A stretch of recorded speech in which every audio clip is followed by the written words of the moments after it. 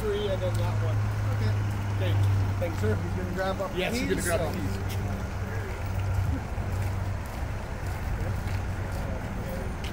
Well, usually at this hour, they have